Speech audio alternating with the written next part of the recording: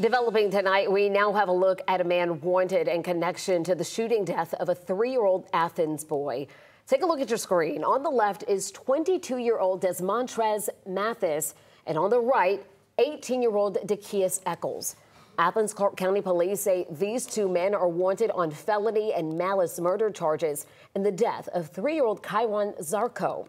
Now, Zarko was killed less than a week ago while he was in his home watching movies at the Hallmark Mobile Home Park on Spring Valley Road. Now, his nine year old brother was also hit in the shooting.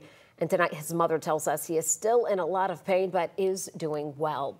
Right now, 17 year old Julian Cubillos and 16 year old Jaden Brown are in custody in connection to the murder as well.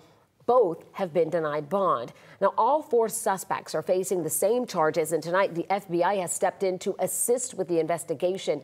A $2,000 reward is being offered now for information leading to those outstanding arrests. If you have any information, you're asked to contact Athens Crime Stoppers at number 706 705 4775.